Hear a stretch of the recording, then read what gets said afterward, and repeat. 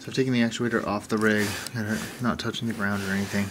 Uh, it's in part. It's in the park position, so it's midway through the range. You can see there.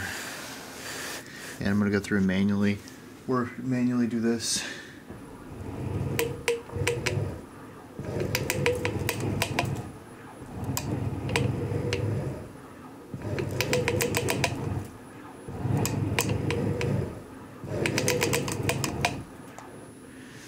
That's that's the sound coming from just this actuator. The other actuators are smooth.